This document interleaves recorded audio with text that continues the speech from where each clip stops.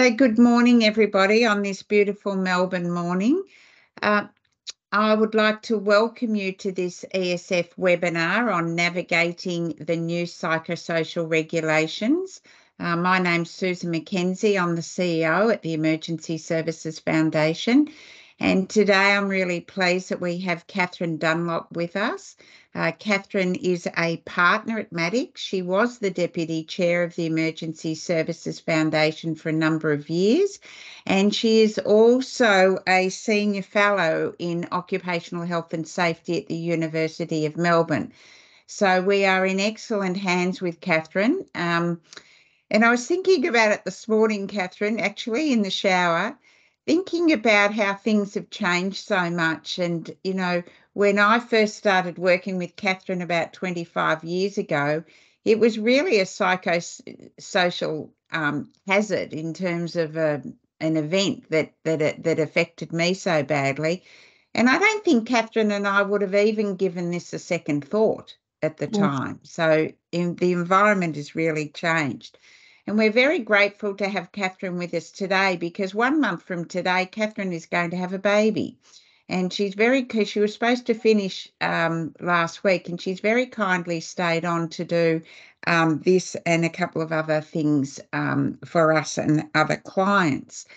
So i'd like to begin by acknowledging the traditional owners of the land. I'm down on the mornington peninsula with the boonwurrung um, bunurong people of the Kulin Nation and pay my respects to their elders, uh, past, present, emerging, and anyone here today. And obviously, um, all of the places where you are as well. How we're going to run this today is Catherine will keep her eye on the chat and she will answer any questions in the chat that you might have. Um, so I'm just going to hand over to Catherine now. Welcome and thanks so much, Catherine. Thanks, Susan. Um, and you're right. I think when we when we started working on these issues, uh, we were involved. Both of us were involved in a very traumatic um, incident and a subsequent inquest, and the matter went for a number of years. And, and I mean, I remember, you know, we would occasionally sit down over a, a fine, well, even an average glass of vino, to be honest, and have a chat. But it wasn't in the context of um, what could be done about the fact that we were working in these very, very stressful conditions. So the world's changed, which is a good thing.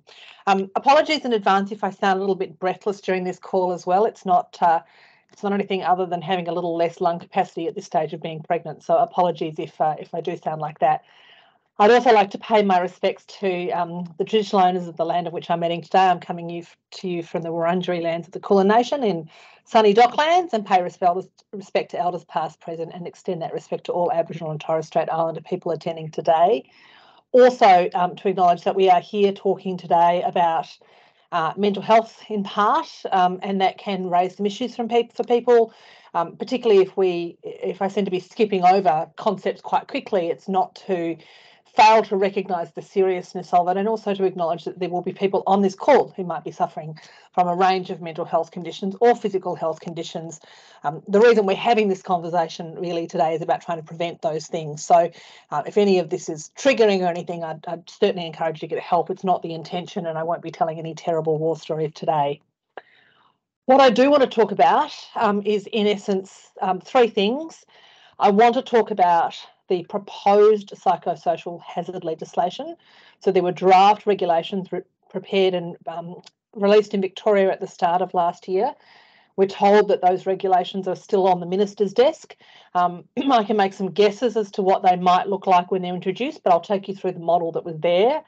I then want to take you through what I think is that overlap between the work of your P&C people, your risk people, your safety people, and what that means in terms of best practice implementation because whether or not we get the regulations in the form that they were drafted last year or we get a different version similar to that interstate, uh, we get guidance on what best practice looks like in this space. And I think it's useful to think about these regulations less as an imposition, although many organisations see it that way, but also to think about the opportunity arising out of it, uh, and then some practical guidance. And uh, as Susan said, very happy to take uh, any questions throughout, but particularly in the chat, and then we'll open up for some question time at the end as well. So to start with, I thought I would go through some definitions for you about what we're talking about today, because there's often a bit of confusion, and apologies for, for those of you who are very familiar with this, and this is all um, uh, something that you know well, but I think it's useful to talk about it in the context of a few of the concepts we're talking about today. So, psychosocial hazards are hazards that arise um, from the way work is done. So, from the design or management of work, the environment, plant, interactions, and behaviours that may cause psychological and or physical harm. And that's because these psychosocial hazards cause a stress response. And if that stress response is prolonged, um, severe or frequent, it then can have an effect. Um, now, not everything that um, causes a stress response will lead to a psychosocial hazard. And in fact, I've got there on the right hand side the definition of mental health from the World Health Organization, which I always think is the best in this space, which talks about mental health being a state of well being where you can realize your own abilities, can cope with the normal stresses of life, can work productively or fruit and fruitfully, and you're able to make a contribution to the community, which really is most people in the emergency services sector doing the latter, clearly. Um, the difference, I think, between um, being able to deal with those normal stresses of life and it becoming a hazard are the extent to which those hazards interact um, or they are disproportionate. Um, and so the issue, I think, for organisations and employers is what can be done to monitor those hazards and at the point at which they become uncontrollable or represent a risk. And one of the things that you'll see that is missing from the regulations and from the discussion is a discussion about vulnerability or resilience. But we have to acknowledge that some people will be less able to cope with the stresses than others, even in exactly the same working scenario with the same management and leadership style that is no different from any other health and safety risk. Right? So the fact that some people may be vulnerable, um, may have been harmed by other work stresses, um, is really irrelevant in this case. We take our people as we find them. Um, I want to distinguish as well from psychosocial hazards and from psychological safety. So, psychological safety is a term popularised by Amy Edmondson. Um, it's a very useful term. It talks about the absence or harm or threat to mental well-being that you might experience um, and in the context particularly about the belief that you can speak up on issues without being punished. So it's the ability to talk about issues. Um, there's a lot of nerdy debate particularly if you go on linkedin on this topic about whether psychosocial safety is related to psychosocial hazards. My view is that certainly the ability to speak up about issues can only make for a better workplace in the sense that people will talk and remembering that consultation is one of the key pillars under the Occupational Health and Safety Act. But it is conceivable that you will have um, an environment that has high levels of psychosocial generally across the organisation, but there will be individuals suffering from very significant psychosocial hazards. And that might be because of the environment in which they work, or because it's just not possible with the leaders they have to have a speak up culture, or because of the stigma associated with um, the mental health issues that they're dealing with. So I do think there's an interrelationship, and I do think, from my point of view, and, and you may differ on this, but that psychological safety, I think, is a pillar, but I don't think it's the answer to dealing with psychosocial hazards. Um, I can speak up as much as I want in certain workplaces, but it won't change the fact that I might be overworked, dealing with bullies and dealing with traumatic work and exposed to occupational violence. The real question is what's being done to prevent that? And that's really, I think, in keeping with what I would describe as an evolution about the way we see mental health. So, dealing with the situation perhaps uh, 20 years ago or a bit more when Susan and I were working together on the matter she alluded to on the left hand side there, um, for many organisations back then, they thought they were doing well if they dealt with issues well when they occurred. So, someone who put their hand up and said, I'm suffering, an organisation looked after them, that was to be applauded, that was best practice. But at that time, the approach was very leader dependent, and some leaders were much more fluent and able to talk about these issues, and some were not at all. And, and you'd all be familiar with that in workplaces. I think over time we got to that position in the middle, which was recognising that psychological health issues were present in the workplace and doing some work on stigma reduction and training across organisations. Um, the very important growth of EAP support, but in some way, EAP support is necessarily reactive. And I think there's still an element at which organisations rely on EAP providers, and that's the solution. So there's a problem, we outsource it to EAP. And I was dealing with something this morning um, for an organisation that wanted to do some guidance on mental health first aid for its leaders to provide guidance on what to do when amongst that peer group they thought someone was suffering. And the P&C response was, well, there's a EAP program for leaders. And yet the feedback from the leaders is they don't want to speak to EAP. They wanted a peer or a colleague to assist them. So EAP has an important role, and I don't want to diminish it, um, but I don't think it's the complete answer. And then for many years, we had what, what we cynically, in my part of the profession, call the fruit bowls and meditation classes, the resilience classes, all that work to say, you know, you might be working in a terrible environment, but here's an apple and try and meditate for 15 minutes a day, it'll make it better. I'm being a bit cynical there, but clearly that's not an answer for terrible working conditions. What we've moved to, though, I think, is seeing a range of things differently. So, some of the things that I think best practice organisations are doing um, and, and the first one there is absolutely something that's um, was always the case, but particularly through the Respect at Work report, viewing bad behaviour, things like sexual harassment and bullying, through a safety lens. So it's not about person A being a terrible person because they behave badly. It's about understanding that as a health and safety risk. What are the factors that contributed to it? um, having a mental health policy, even if it does not much more than say, here's our approach to mental health, here's the World Health Organization definition, here's what we do, and bringing together all of the things the organization does in relation to mental health into a policy or procedure or guidance material to really reflect that. And I've worked with a number of organizations who have pulled that together and then been able to use it as an opportunity to identify those pockets of best practice across the organisation and say these are the things that are working really well. Um, reporting on mental health, so measuring it and reporting it, and not simply in a negative sense, here are the claims, but here's what our engagement survey tells us. Here's the people who are turning up to these events where we're doing the education sessions. Here's what we're reporting. Those things can necessarily be more qualitative than quantitative, but I do think they are important because they give you a measure for senior leaders to say this is what we think about the mental health of the organisation.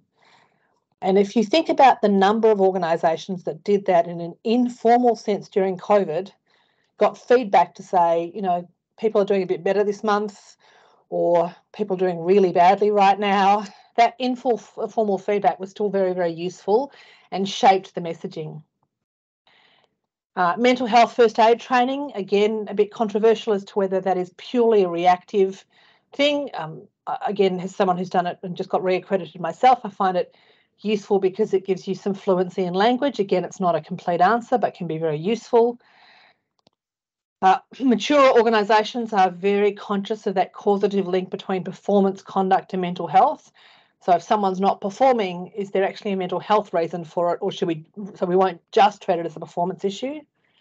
And then the last two, which I think are the most important, and what I'm going to spend most of the time talking about today, which is taking a risk based approach. What are the risks to mental health in the organisation? So, what are the things that make it more likely that you will have the hazards that we now talk about as psychosocial hazards? And um, are we actually doing risk assessments, updating them, putting in our risk register, and, and thinking about it from a risk and governance point of view? Uh, not just a that's the safety team role or that's a P&C role or that's about reducing the number of EAP calls or making EAP more available. And that really fits with, I think, the approach that's been taken to the psychosocial regulations. So, a little bit of uh, history. There had been a review of the model work health and safety legislation across Australia. Um, the Boland Review, um, one of the recommendations from that was that there needed to be more guidance for employers in relation to mental health. So, there was clearly a duty um, under all health and safety acts within Australia in relation to mental health and the obligation to reduce harm by eliminating it or reducing it, not simply responding to it. but that many employers weren't clear on what that meant. So there was a subgroup of COAG, the workplace um, ministers, who got together and made a decision in 2020 that there would be regulations introduced across Australia. Um, there have been draft regulations under the model legislation, so every other state and territory is welcome to adopt that or welcome to adopt a variation of it. Um, and, and most states are well advanced in that or have, have adopted that or have put in and or have put in codes of practice. In Victoria, we had draft regulations, as I said, released early last year. Uh, those went further than the models in the other states and territories. So ours were a little more onerous in relation to what they required, and particularly in relation to the hierarchy of control. Um, so um, those regulations were, were, released. There were a number of submissions. Uh, many were supportive, but many were also raising issues about cost. So to be clear, the implementation cost from the regulatory impact statement for organisations of 200 plus employees in the first year of operation, the estimated implementation cost was over 700,000. And then uh, the implementation cost for subsequent years was still many hundreds of thousands. I think parts of that might have been overestimated a tad. But if we go back to 2022, when people and culture teams were starting to start bargaining again, dealing with long-standing issues that had sat because of COVID, uh, and the idea that that you would find an extra seven hundred thousand dollars in your budget for this for the upcoming financial year was something that I think horrified many employers. So there was a lot of concern about cost, and the reason why the cost submission was in, dealt with in such detail is that the regulatory impact statement made the case to say if employers spend this cost, it will reduce work cover claims. So there's a net benefit to the state uh, in that there will be less um, less harm to workers. So they said the evidence was there that if you introduce these measures in the regulations, there will be less work cover claims. Wait and see what the regulations look like when we get them, and what the um, what the result will be. But perhaps to talk a little bit about these regulations specifically. So, what are they actually requiring employers to do in the form that they were proposed? Uh, so, this is a diagram taken from the Queensland Code, but I think it's quite useful. As I said, it, it describes these hazards there on the left that come from things like design or management of work, environment, workplace interactions and behaviours. So, those are the hazards. They cause a stress response, and then when they're frequent, prolonged, or severe, or any of those, or when you get a combination of them, you can see there the psychological harm result and the physical harm that may result from it as well. And so the most interesting thing part I think of this is thinking about what are those hazards. And every jurisdiction has a slightly different list in their codes and their guidance material, which is one of the wonderful things about being in a federation, right? We can't quite agree. Um, but there's quite a bit of consistency around the world. So these idea of psychosocial hazards come in large part from some work done in Canada. They have had a standard for many years. It's been adopted in the US, the UK as well, and there's been a bit of work from the Surgeon General in the US about this.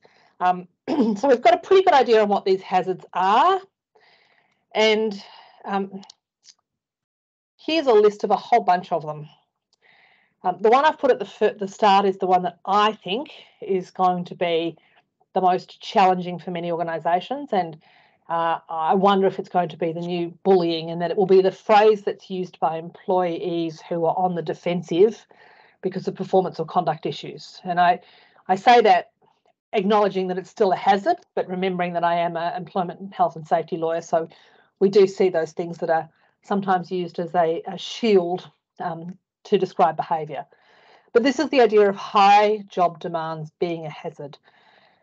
And as I go through these, all of you will be thinking that's me. So, high job demands, an intense or sustained high mental, physical, or emotional effort required to do the job, um, unreasonable or excessive time pressures or role overload, high individual reputational, legal, career, safety, or financial risk if mistakes occur. It's very common for the emergency services high vigilance required, limited margin of error, and inadequate systems to prevent individual error. And for those of you who've been at the mental health and focus session, I've made this point more than once, so I'll, I'll make it briefly and then move on. But I think you can have an environment of high job demands where you have a fantastic leader, a great team. It's not forever, and you can put that effort in, and it can be the most rewarding part of your career.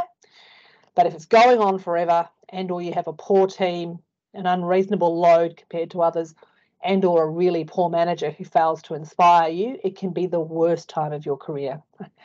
So that goes to the idea of how do we then address high job demands. Some roles necessarily have elements of high job demands. If you're the if you're a chief officer or an emergency um, management commissioner you're going to have high job demands but what can we do to try and reduce that harm fatigue in itself um, can both be a consequence, but also can be an aspect of um, of a hazard. Um, bullying clearly uh, is a psychosocial hazard, as is sexual harassment. Uh, exposure to traumatic events or content and or vicarious trauma. Poor leadership practices and poor workplace culture. And as I'm going, you might be thinking about how these interact.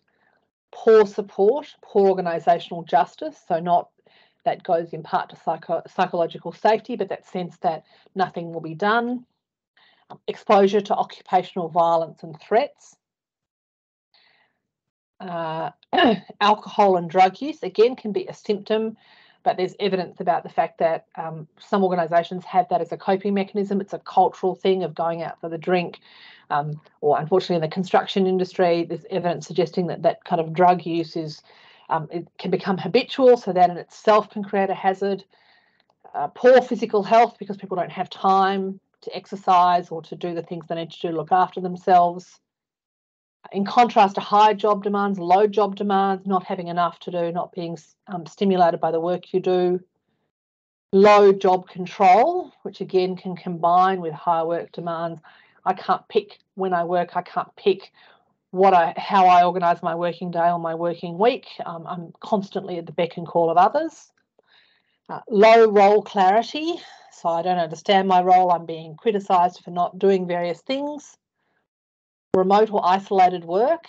Now, this was a hazard identified many years ago and is, in fact, the subject of a specific regulation in all Australian jurisdictions about the risk that people who work remotely or in an isolated way need effective communication styles, which I find really interesting in light of the, the big working from home experiment and the people who perhaps are less engaged with work because they're working from home.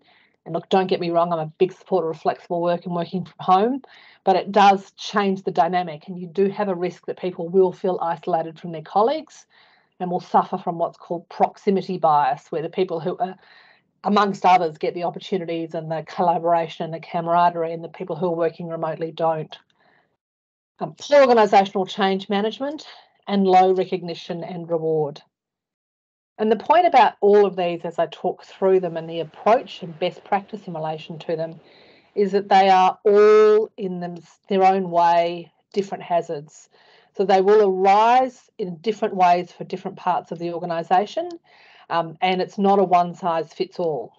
So I was listening to someone last week, someone I, I respect a lot, but his his view on this was um, it's sufficient to kind of consult by talking to a few people in the organisation, getting a sense of it. But I'm not sure that's quite right because ultimately um, there may be pockets where you have some of these hazards and not others, and they will change over time. And so understanding what hazards exist in your organisation is a really important part of this because it's about understanding cohort risks and work type risks. The other point about this is clearly that you can have accumulation and interaction. Um, so, for example, there's evidence that says uh, if you are exposed to trauma or suffering vicarious trauma, the chances that it will be harmful to you are much worse if you are also fatigued. Or, as I've said, if you have high job demands and poor leadership practices in the organisation, the risk of harm increases as well. And we could do a, a whole range of those things. So, where we are across Australia generally is that there are regulations that exist eh, or will exist for the rest of Australia that really make it incumbent on employers to identify the hazards and do something about them. And sometimes that's in the regulations or will be in, in all states and territories, I think, say what's happening in Victoria. And sometimes it's also supported by a code of practice. Um, so I don't expect you to memorise any of this, but just for your reference, um, we have already um, regulations at the Commonwealth, New South Wales, Queensland, Tasmania, and Western Australia. Um, many of those are supported by a code, which is the kind of detail on how does this work. Um, most of them have the same um, issue. So in most of those jurisdictions, it's simply set as an obligation by what's called the PCBU, the person conducting the business or undertaking, which is the phrase used in those jurisdictions to describe the duty holder, they must manage the risk. Um, the thing that, that differs um, across them is what's in the code uh, and the extent to which they then deal with a hierarchy of control, which I'll come to. Um, and in Victoria, as I said, we don't have them yet, but we do have a whole lot of material um, that already supports in, in WorkSafe through WorkWell and others that replicate some of the material in the regulations anyway. And remember that the regulations put the flesh on the bones of what is a duty. So you already have a duty under Section 21 or 23 of the OHS Act to eliminate and reduce risks to harm to employees and volunteers and others. Um, so if you are not thinking about psychosocial hazards, I think it can be opportune to think about it even without the regulations. And many of you will be doing any of those things. You will already have systems in place to deal with bullying and sexual harassment.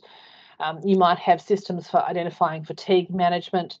The question will be, is there more that you can do? And does, does um, the material in these regulations change your thinking about what best practice might be? So I'm going to take you through the way the regulations deal with this issue um, I'm not suggesting you need to implement them ahead of them actually becoming law, to be very clear. But I do think it's an opportunity to think about what are we doing in this space and can we perhaps pick up some elements of it and look to refine them. So is this an opportunity to say, is there a better way to do what we're already doing? And so the regulations, in essence, have a series of um, obligations. The first is that employers have to understand the risk. So they have to understand what those hazards are in their organisation. And you already have some data on that from things like engagement surveys and claims. Um, but you can get more, for example, by consulting, um, understanding that the regulations and the way they were drafted only apply to employees and contractors. So they do not apply to your volunteers. But clearly, if you're in Vic SES or CFA or St John or elsewhere, you already owe a duty under the Act in relation to those people. So why would you not take the bits from the psychosocial regulations from WorkWell and think about, well, how does that apply to our volunteers and what does what does good and best practice look like? The point about consultation is that you will uh, you already have an obligation to consult under the Act. In many cases, that's done through designated work groups and health and safety reps. But I think in this space, there's an opportunity to go broader. So I worked with an organisation who was doing a big piece of work on sexual harassment, and they picked cohort groups to go and talk about the risk of sexual harassment and uh, a hostile, sexually hostile workplace. And they picked the LGBTQIA workers. They picked people who were in their first year within the organisation who were of a certain young age group. They picked people from a, a, a couple of cultural groups who worked in isolation. They picked from people who were working from home. They picked a group of people who had to travel with managers one on one in a car. They were junior to their managers, their managers were more senior. Uh, and they picked a few others and they, they consulted in very small cohort groups. And they had said to me beforehand, not sure how useful this is going to be, but to be honest, part of it is just messaging. Like at least if we if we consult, we show we're we're taking it seriously, we might learn something and they were blown away by the feedback they got because when they got those cohort groups together without management without others talking about these issues their understanding of risk changed quite a lot because they got a lot of information and feedback that they would not otherwise have had so consultation in this space i think is really rich the obligations then require that you have to having consulted understanding your your hazard profile you have to implement control procedures and that's done in accordance with the hierarchy of control. So I'll come to that in a second because I think that is the most important part of the draft Victorian regulations. And then lastly, there are obligations to, to review that from time to time whenever a complaint is made or new information comes up. Um, so this is not a one-off process that we do once, it's one that we continue to do. The other obligation that was in the regulations was to provide de-identified reports on a six monthly basis um, to deal with a series of risks and also to develop some prevention plans. So I'll take you through those. But I do want to talk about the hierarchy because I think if you remember nothing else from this session, I think this is the key thing to understand about the way thinking on psychosocial risks has evolved. So you remember that that that chart at the start of how we've moved from just dealing with people who are unwell well to taking a risk based approach. That's reflected in this. So many of you will know the hierarchy of control that exists for physical risks. So we eliminate wherever possible. The lowest control is PPE. Um, and if we think about uh, in a physical sense, we think about COVID, it's the, the perfect example because PPE, people couldn't quite work out where their nose was when they had to wear it. It's much less effective than isolating people, which is one of the higher order controls. So there's a little bit of debate about um, whether this hierarchy is, is settled for psychosocial risks. And one of the reasons it wasn't included in most of the other states and territories was because the view was it's a bit new and it might not quite be right. But the way the Victorian regulations are drafted, in effect, says you have to, you can't rely on these lower level controls unless you've tried the higher ones. And for the prevention plans, you will have had to have documented it, right? Or WorkSafe can come and audit and say you might need to go back and redo this. So at the, the top here, the idea is that if we can eliminate a risk, we will. Now that might be hard, might be hard to eliminate high work demands, it might be hard to eliminate um, the risk of occupational violence, but clearly that's the highest order control. The next level is to look at job design or work design and systems of work. So this is about saying, what do we ask people to do? And at an organisational and team and holistic level, have we got the mix right? So it's about things like resourcing, looking at hours of work, looking at your reward and recognition structures, structured change management, giving rotation of, of tasks, having job clarity, um, having job crafting and job control. And if anyone is interested, um, there's some really great material that the Commonwealth Government put out on job crafting, the ability to say, these are the bits of the work I like the most, because there's a lot of research to say that job crafting, the ability to play to your strengths and also understand what uh, inspires people about working for a particular organisation uh, is a protective factor for some of the other hazards. Um, and if you if you can't find it or you want, email me and I'll send you some material. I think in the um, in the sessions for the mental health in focus, I talked about this in the context of work that was done in the US on hospital cleaners. And so hospital cleaners typically had a terribly, uh, pretty awful kind of workers' compensation history, a constant bunch of hospitals. But when they researched that, they found that there were some hospitals which had much better rates of um, in relation to worker injury and much greater engagement by their hospital cleaners. And the common factor there was that their hospital cleaners felt acknowledged, so they would be thanked by surgeons, and they described themselves as ambassadors for the hospital. And when they were asked about their role, they would say things like, I clean hospitals and so I save lives, not I'm just a hospital cleaner. And likewise, the idea that if you have a group of people in a team, not everyone can play to their strengths, but if there's a sense of meaning and you get to pick the parts that you like, so which is any part of a good performance improvement, sorry, a good um, uh, uh, annual performance process, that that also helps. Culture, clearly very important as part of the system of work, and likewise the workplace environment more generally. So we have to work on fixing those things to avoid psychosocial hazards before we can go to the next level. You may have certainly you should be doing some of these lower order controls as well, but we don't start with them. So the next level down, things like policies, training, skill development.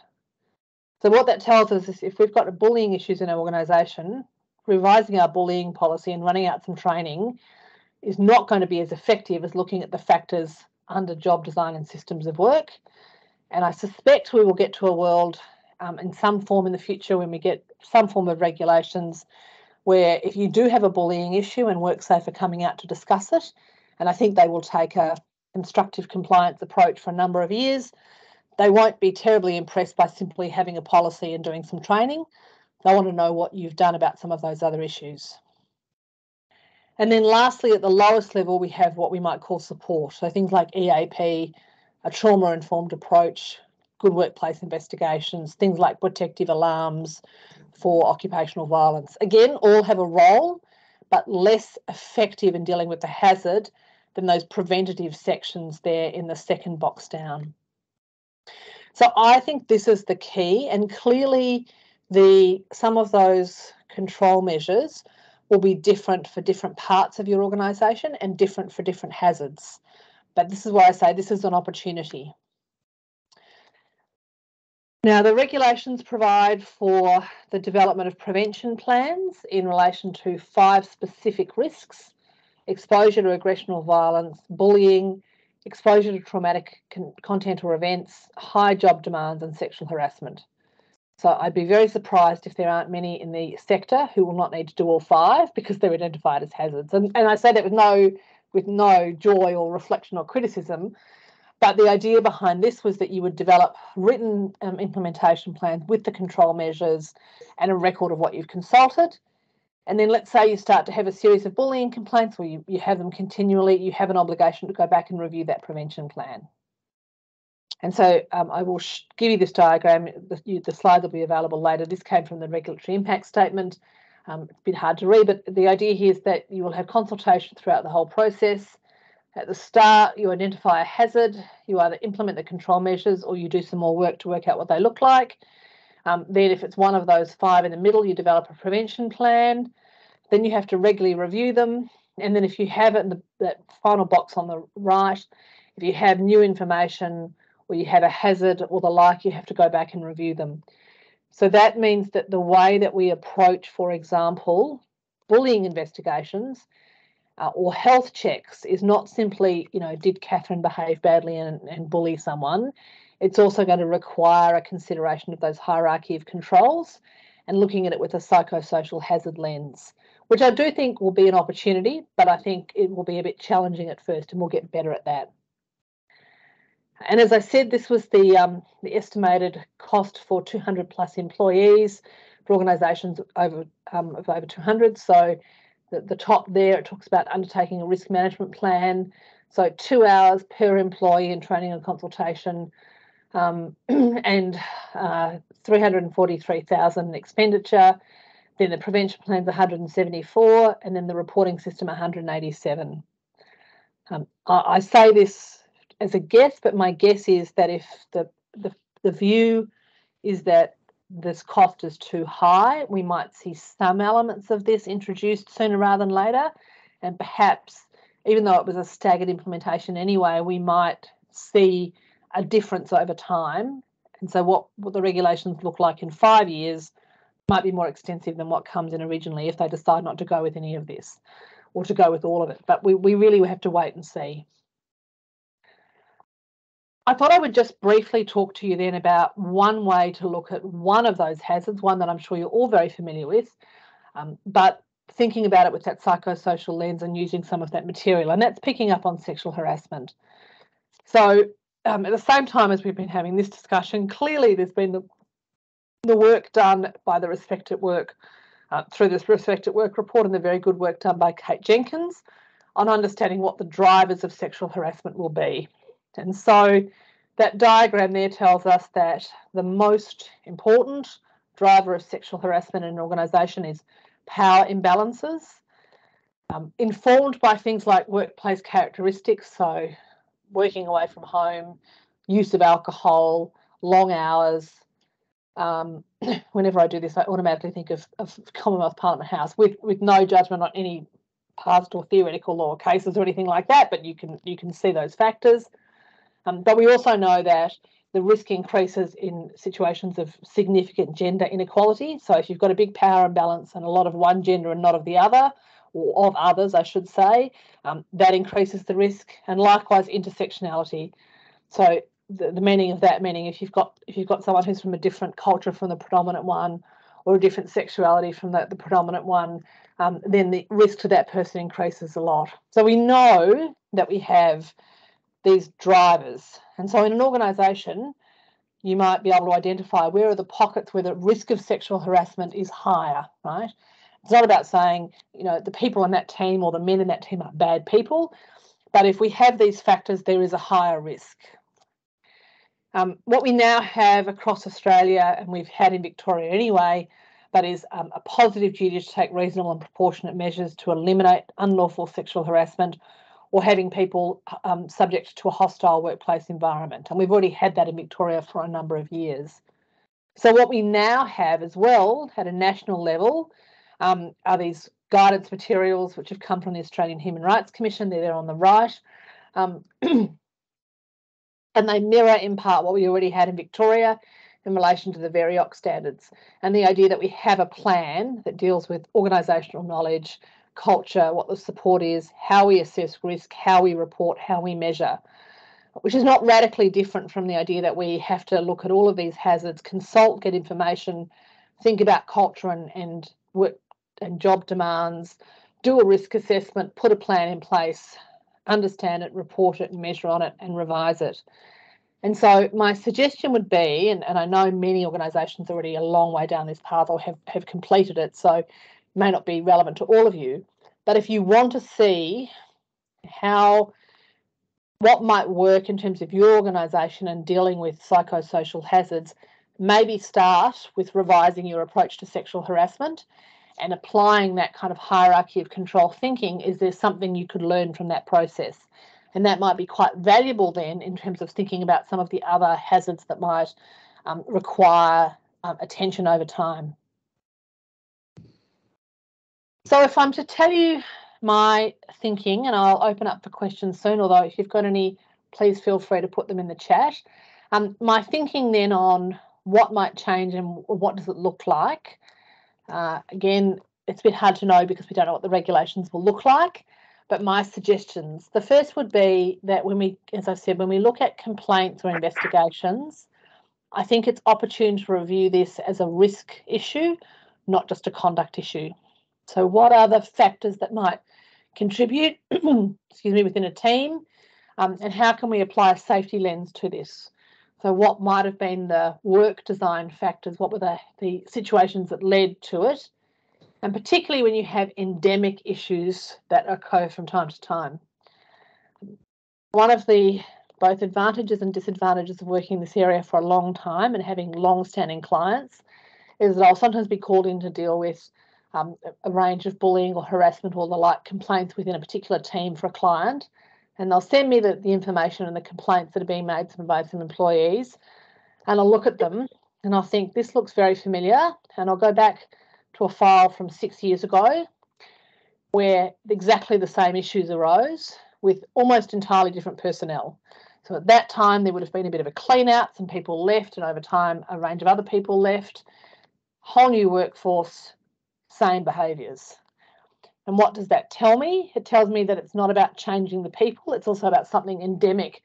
That as new people get introduced into that team, um, this, there's a luckily this is not common across the emergency management sector, but I've certainly seen it with a few of my clients, and it's always in the same sorts of work environments, which I can't tell you, although I'm making it sound more interesting than it is.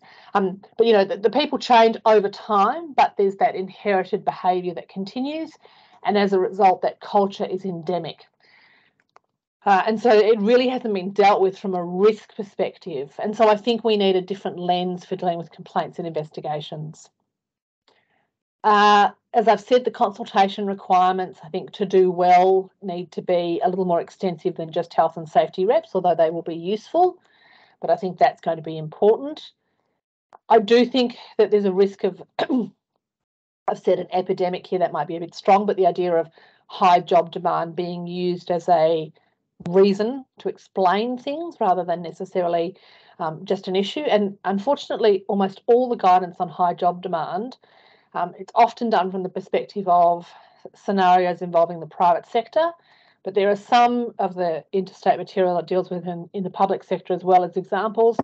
But almost all the solutions for high job demand that are in the material talk about things like increasing staff numbers and reducing rosters. Excuse me. So that's all very well if you can magic up an increase in your budget and hire a few more skilled workers but I acknowledge it's not that easy. And so this is actually quite a difficult issue then um, to try and, um, and address just through that. But I do think it gives rise to the idea that you at least need to plan for staff shortages and excessive demand and show you've turned your mind to it. I think another thing that we need to think about here is the idea that the psychosocial hazards will differ over time. So if we think about an employee life cycle in the organisation, accepting that most employees don't stay with an organisation for life, but the risks you have as a new worker who may be less trained, less skilled, less power are quite different from the ones that you might have when you are promoted to a new manager and you've suddenly got to deal with difficult behaviour, or even when you are dealing with um, demands from outside work and you're starting to work part time and you've got a sense of isolation perhaps because you are working from home or again a, a gross generalization but you can see how the, the hazards interact with life conditions and issues at outside work. And so thinking about the life cycle of an employee i think is also a really valuable thing about trying to identify what those hazards might be at various stages so what do i think this really means for organizations hmm. I'd say this. I think it's it's timely to start the conversation and education about this. I'm still speaking to people who get psychosocial confused with psychological safety, which is fair enough, but to actually increase the fluency about all of this and to get people thinking more about how do we prevent these issues. And a great way to do it in your sector is to think about the difference between prevention, mitigation, response, and recovery. We're pretty good at response, maybe not quite so good at recovery, but what are we doing about prevention preparedness or mitigation or however we want to describe the first of those stages depending on your allegiance to any one particular model but what are we doing from that risk perspective um, I think most organisations have increased the fluency around mental health, but this is an also an opportunity to do it from that risk perspective. So it's not about resilience training, which you know has its place, but uh, and it's not about EAP; it's about the other end. I do think that the, the biggest issue for many organisations is likely to be what this means for your line managers, because ultimately this is not a role for the P&C team or the risk team or the safety team. It actually has to be done by leaders at an individual level because they shape culture. They'll be involved in the job crafting issue. They'll be managing the workplace environment. Um, they are also then likely to be having additional resources on them. So they're likely to have high job demands if they have to do all of these things too. So, how do we support those managers and skill them up? I think there's an opportunity to think about job crafting. Um, there are all sorts of industrial and other issues that that come into play there. I'm not saying that's easy, but I think uh, it's an opportunity. And I do think there are benefits in consulting and continuing to consult on this, whether we call it formal consultation or not because the organisations that I've seen that have done this um, have had the benefit of new ideas. Uh, and sometimes that's simply as, as simple as, you know what, in that team there, we're doing this really well. We've got this system for, for dealing with high job demands and it's worked really well. Can we implement it elsewhere in the organisation? And so you'll have pockets of extremely good practice already, or managers who've tried new things. How do we roll that out? And that might sound overwhelming, but I think for so many organisations, they saw during COVID and accepting that many of your workers were not in a lockdown situation, so this is not universal. But we saw the ability of organisations to pivot, managers to try new things, share them, uh, and come up with new ways of working. And that I think has been really valuable, and many of those things have been retained. But that wasn't about necessarily top down in all situations. It wasn't about a CEO or a a board chair saying, you know, thou shalt do these things. It was individual managers coming up with ideas and then sharing them. So I think consultation and consultation at a range of levels, managers, leaders, workers, getting those ideas will also be valuable. So as I said, I think this is about an opportunity, not simply um, hopefully a range of obligations, but I do accept that if you're listening to this with limited resources and a whole bunch of other issues going on in your organisation, it might sound like yet another nice to have, but who's going to pay for it? Um, so I don't want to sound too idealistic in this space as well. But I might stop sharing there and I'm um, very open to any questions or comments that anyone might have. Thank you, Catherine. What a powerhouse. You can see why I asked Catherine to come and do this. We Could we have got anyone better? I don't think so. Um, I think it was interesting. I was speaking to the people over in Canada the other day, and um, I made this comment at the Mental Health in Focus last week, and they're watching with interest what we're doing here in Victoria. And the fact that the draft regs came out for comment and it's been really slow to for them to come to fruition. And they said, we're hoping this is because you know what you're doing in Victoria is going to be exemplary. So you know we we can only hope. Um, while I'm waiting for people to put some, hopefully, some questions in there, mind you, you've probably covered everything and blown them away, Catherine. Um, it was interesting last week at Mental Health in Focus. We had Sam Jenkin from WorkSafe speak, and you know he made the point that the there's going to be a five percent growth per annum on mental health claims until 2030. That's what they're working on. That's their projections. And we know that the sector's overrepresented in mental health claims, and he said that we're now talking about two thirds of those related to unresolved personal conflict. So, you know, that's the latest, you know, straight from the horse's mouth. So, um, Rachel, you had your hand up. Thanks, Susan. Um, I was just going to say thanks, Catherine. Um, it's a lot of information, and, and we've um, spoken just the other day as well. And, and it's really, I suppose, a great opportunity, although the regs are being delayed, that we have some really long lead in time to do some really sustainable change. And I think in being in emergency services organisations and often, often can be really reactive. So we're really looking forward to, I suppose, being able to make some big changes um, in this area. And I just wanted to highlight for those that, that may be interested um, about um, a few, a few months ago, um, some of us have started a bit of a community of practice in this space for people that are leading the work within organisations because it's so new. We're all trying different things and different ways to engage with stakeholders and having an opportunity to to learn from each other. Um, and we're all at different levels of the journey. So you know, if, if people are interested in that kind of community of practice piece um, around specifically this topic, um, you know, please also let me know. Thanks, Rachel. Thanks. And I guess that's a benefit in a way of the learning network too, isn't it? Because we know you know each other now, so it's it's wonderful. Sophie. Hello, thanks, Catherine. That was great. It's really nice to see it all in one spot, summarised and making sense. It was really helpful. Um, I was just making a comment about um, the endemic challenges that you brought up, I think, is really fascinating. That you've had that longitudinal lens of seeing issues and then being able to go back and look at the fact that it's happened before, but with different people. I think that's a really important point and um, one to be explored further. I think. So, and you spoke about using a risk lens to to um, address that. Could you explain that a little bit more?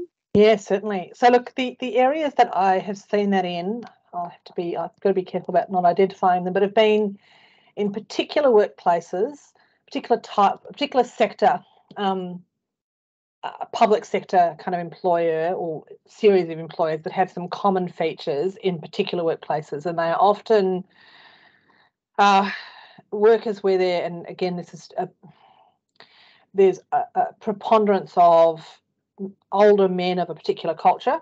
Right? And again, this is not a, about a particular gender. I'm just saying that's the situation in, in one of them, um, where they work in a relatively decentralized and somewhat remote environment, uh, and where the younger workers coming in are inducted and kind of linked to working with one person who trains them up.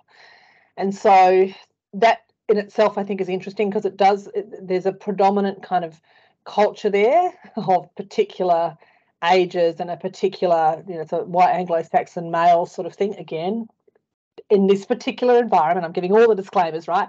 Um, but uh, and and those people have often worked in that environment since they've been 16, 17. And by the time they're in their 40s, they're in a position of power. It's always been done that way. We've always inducted the new people that way. There's always a sense of initiation, and everybody who comes in follows that model, right? And so, if you think about that risk of a predominant culture, the difficulty of being a new person coming in, so sometimes we have issues about bullying, um, and that can be to anyone. It can be someone who raises issues. Often, people who are raising safety issues get bullied. Um, I had a really awful one where a young lesbian woman came into that environment and was subject to really appalling behaviour. Uh, and again, I'm not saying that's about the individuals, but if you apply that sexual harassment risk lens, you could have seen that risk happening before it started, right? And so I think um, it, it, you've got to be careful not to stigmatise and prejudge and say, oh, well, because of that scenario, we're going to have this issue. But I think uh, where you've had a series of complaints, um, where there is a predominant culture, where that culture is unlikely to change in the short term, uh, then how do we deal with that? And, and in, many of these situations as well, across a range of different employers, the problem has been exacerbated because no manager wants to go in there, right? Because the manager who goes in and finally deals with issues and tries to stop it is then accused of bullying. So this is not an easy situation, which is why we see these, we informally refer to them as the boomerang cases, right? Like, oh, it's back again at ex employer, it's going to be this, and it is. Uh, I'm not saying they're easy, but I think um, to deal with them well is going to, and, and where it has, I've seen some organisations in this space have some success, is where they've really started to look at it from a risk perspective and try and pull apart the culture and do a lot more work in that and monitor it a lot more in an ongoing sense rather than simply waiting for a complaint to happen and then saying, oh, well, this time it was John Smith who behaved badly. So we're going to terminate his employment and hope that it changes. Right. Um, That's yeah, great. Mm, thank you. And, and, apologies for all of the um, all of the breaches of anti-discrimination law I just engaged in. But obviously a generalisation. So that's great. Thank thanks, you. thanks, Catherine. Uh, Christina. Hi, thanks, Susan. I'm Christina Burke from Emergency Recovery Victoria. Um, Catherine, I just wanted to um, go back to the hierarchy of control for psychosocial risk um, and just to make sure that I'm understanding correctly. So what you're saying is that um, you know, rather than starting with the lower order things that we all have, like EAP and the policies and the training that everyone has to do, that's kind of like, I guess, your hygiene level, like that's a given. Um, so the attention really should be at those, um, I guess, the higher order controls and um, uh, and yeah, tackling it at, at that level rather yeah. than trying to make sure that everyone's done their you know their their online mm-hmm. sexual harassment training um, right. really looking at um, the more practical things higher up that's right so the way it's drafted that's exactly right the way it's drafted in the in the regulations says an employer must eliminate so far as is practicable if it's not reasonably practicable to eliminate they must reduce work so far as is reasonably practicable by altering the management of work, the plant systems of work, work design, workplace environment, or B, using information instructional training. And then it goes on to say you can only use B if none of the control measures set out above in A are reasonably practicable. So I've kind of gone a bit further in my diagram, which you'll get after this, picking up on what's been done interstate with the hierarchy. But the idea that information training and instruction can only be relied on um, if the other things don't work is exactly. So it's kind right. of flipping it, yeah. That's right. And I mean, yeah. you're right, they should be done anyway. You, you really can't be successful without taking that approach. Um, but I think, you know, for many organisations, uh, and I can't speak for those in the sector, but I do know there are many organisations who think they're pretty mature in this space because they run annual training and then they have an information session and they think. Catherine, well, annual, annual training on what? On, on bullying, for example, or on or on sexual harassment or on good behaviour or on, you know, they run an annual session for managers on how to deal with with performance and conduct issues or, or whatever it is. They think that plus having an excellent policy and the fact that they may not have had a range of complaints means they're doing, you know, they've nailed it, right? And I'll have managers who'll say that, or they'll have a really terrible issue and they'll say, this is out of the blue because our history tells us we've got everything ticked. Um, and, and yet, you know, sometimes that terrible complaint will be substantiated and it will lead to a whole range of other things coming up. So clearly, um, there's an issue there. It just hasn't been acknowledged. So you're right, Christina, you need to do those hygiene pieces as well. But this is the opportunity to ask those other questions. Um, and I, I, do think sharing your knowledge amongst yourselves about that will be really valuable because for some of that is intuitive, right? But some of it I think is quite new. So uh, again, at the risk of sounding like a complete safety nerd, I'm quite excited to see what happens in this space. I think the way we talk about this in five years and 10 years will be very different from the way we talk about it now because we'll all learn and we'll see what works. And no doubt WorkSafe will share the success stories as well. Thank Catherine, you. I'm going to I'm going to have to bring it to a close now. Um, thank you so much uh, for that. So what we will do is we will send out an Impact E news with links in it to the presentation and the slides. Um, you may have noticed that there are invitations for two other sessions coming up. Uh, one is on using data for preventative strategies in October, and then in November we've got um, accumulated trauma. So these are part of our sort of insight conversations that we want to get back up and running. And of course, October, the, um, I mean, October, early October, the mental health showcase as well. So, um, Nicole Middleton, thank you for suggesting this topic today. And uh, we're always responsive to doing these sorts of things. So, if there's another topic that you're interested in, um, please let us know. And thank you for, for coming. And thank you once again, Catherine. Amazing. Yes, Thanks. lots of claps. Thank you. Thanks. Thank you. Have a good day, everyone. Enjoy the sunshine.